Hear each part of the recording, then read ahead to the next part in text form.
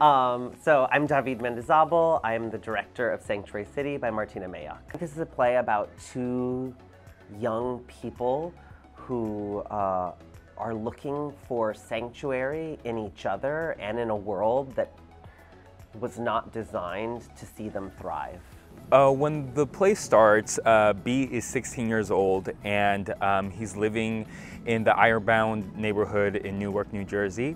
Uh, and he's living there undocumented uh, with his mother. He came to this country um, with a visa and um, ever since then he's overstayed his visa and um, just trying to navigate um, the world as an undocumented person. G and also B are just two teenagers that are desperately just trying to be normal teenagers in the middle of you know their complicated situation and trying to find their way into normalcy. One of the most beautiful moments in in the play where we see them be teenagers, just yeah. be normal teenagers. There's these really heavy topics, right? But I think the, the, the beautiful thing about Martyna's writing and something that she reminds us is like, it's still a fun and sexy play, right? You know, like at the end of the day, we're not, it's not a didactic sort of like telling you what to think, but you're actually getting to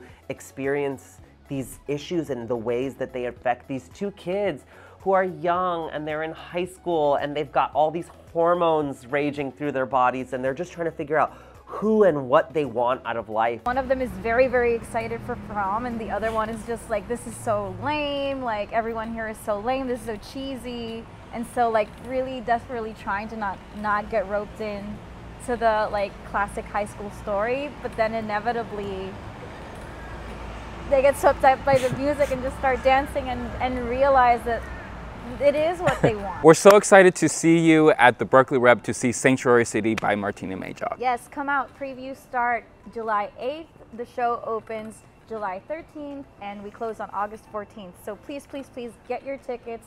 Come enjoy this show with us. Come for this ride, this beautiful, beautiful, so personal ride.